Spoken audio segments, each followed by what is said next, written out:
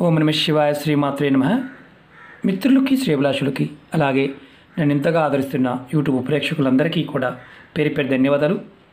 మిత్రులరా మీ అందరికీ పరాదేవత ఎల్లవెల్లా మీతో ఉండి మీ మనోవాంఛ నెరవేర్చాలని మనస్ఫూర్తిగా కోరుకుంటున్నాను. ఈరోజు మనం ఒక అద్భుతమైన శక్తివంతమైన ఉపాయం తెలుసుకుందాం.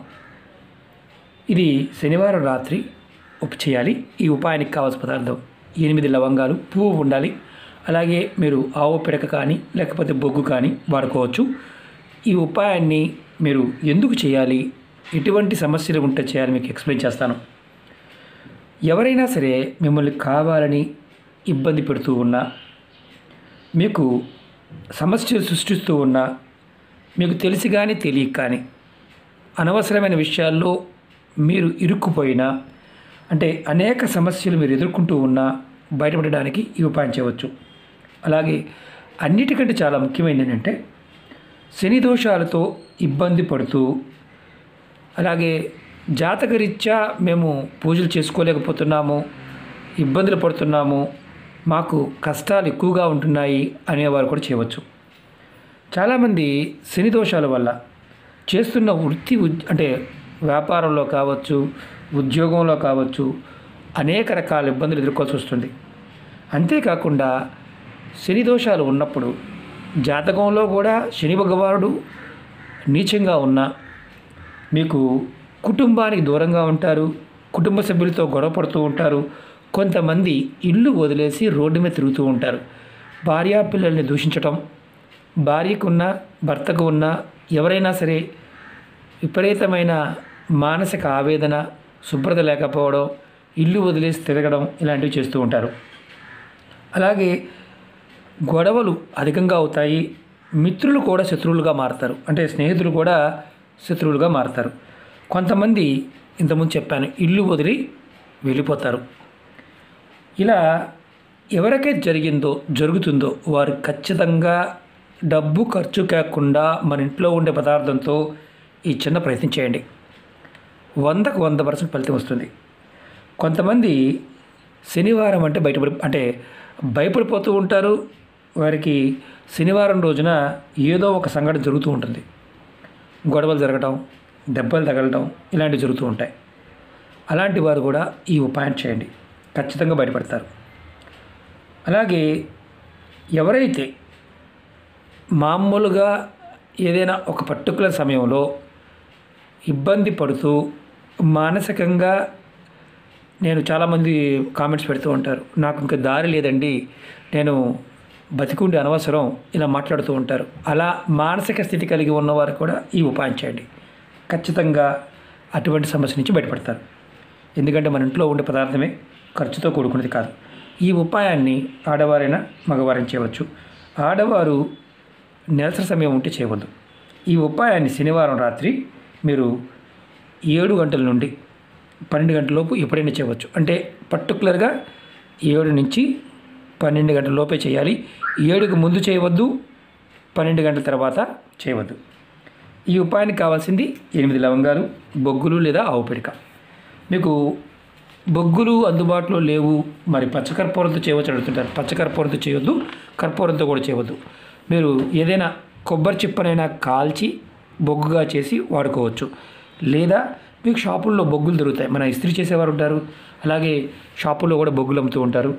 తెచ్చుకోండి. పిడకలు కూడా అమ్ముతూ ఉంటారు. పూజా వస్తువులమే షాపుల్లో పిడకలు దొరుకుతాయి. తెచ్చుకోండి. స్టవ్ మీద వేడి చేసి దీన్ని మీరు వెలిగించండి.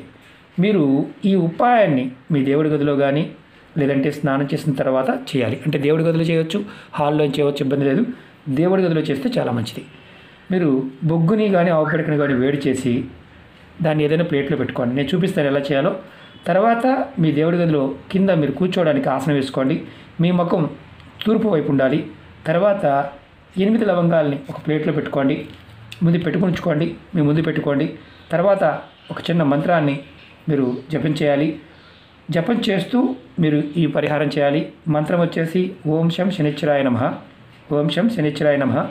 ఈ మంత్రాన్ని ఒక్కొక్క లవంగా చేతితో పట్టుకోవడం కుడి చేతితో పట్టుకోవడం ఎనిమిది సార్లు అనుకోవడం మనసు తలుచుకోవడం తలుచుకున్న తర్వాత లవంగాన్ని బొగ్గుల మీద వేయాలి. నేను చూపిస్తాను. ఎలా వేయాలో మీకు చూపిస్తాను.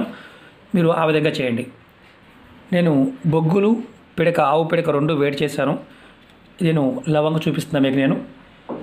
మీకు నేను ప్రాక్టికల్గా ఎందుకు చూపిస్తున్నానంటే మీరు చేసి చాలామంది అంటూ ఉంటారు. ఆ స్టవ్ మీద వేడి చేస్తే అవుతుంది స్టవ్ మీద వేడి చేసి రెడీ చేసుకోండి. మీరు ఈ మంత్రాన్ని ఒక్కొక్క లవంగ పట్టుకొని మీరు ఎనిమిది సార్లు అనుకోండి.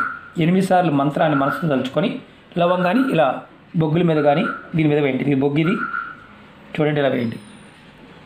మీకు గుర్తుంచుకోండి పిడక మీదైనా వేయవచ్చు బొగ్గు మీదైనా వేయవచ్చు. ఇలా మీరు ఎనిమిది కూడా ఎనిమిది లవంగాలు కూడా అలా మంత్రాన్ని మనసులో ఎనిమిది సార్లు అనుకొని ఓం శం శనిశ్చరాయ నమ ఓం శం శనిశ్చరాయ నమ అనుకొని మీరు వేయండి. ఇదిగోండి. నేను మీకు చూపిస్తున్నాను. ఇలా ప్రతి లవంగా కూడా అలా ఎనిమిది సార్లు అనుకొని మీరు వేయండి.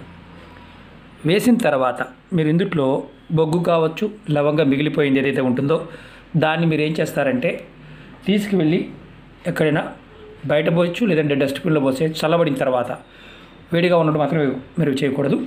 చల్లబడిన తర్వాత వేసేయండి. మీకు గుర్తుంచుకోవాల్సింది ఏంటంటే మీరు ప్రతిసారి కూడా మంత్రాన్ని ప్రతి లవంగ పట్టుకొని ఎనిమిది సార్లు అనుకొని బొగ్గుల మీద వేయాలి. అంతే ఇంకెంతకన్నా నేను చేయాల్సిన అవసరం లేదు. తర్వాత ఈ ఉపాయాన్ని మనం వరుసగా ఎనిమిది శనివారాలు చేయాలి. మధ్యలో నెలసరి వచ్చిందనుకోండి ఆపేయండి. ఆపేసి మళ్ళీ కంటిన్యూ చేయండి. మీకు కుటుంబ సభ్యుల మధ్య మీ కుటుంబ సభ్యుల మధ్య ఎప్పుడు గొడవలు అవుతూ ఉన్నా ఖచ్చితంగా చేయండి.